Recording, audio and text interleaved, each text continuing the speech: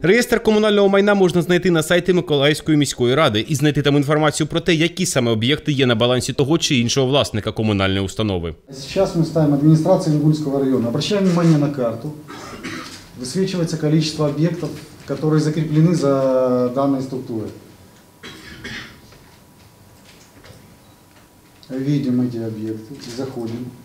Мы видим э, первичную карту. Поки що інформація є лише про нерухомість та автотранспорт. Втім, у планах занести до реєстру всю комунальну власність без виключення до останнього стільця. Можно с уверенностью сказать, что это полная часть. Но есть некоторые нюансы, например, чтобы все понимали. Вот пока мы с вами сейчас, вот пока мы презентуем реестр, э, два автомобиля поступило на списание, то есть они отсюда уйдут уже.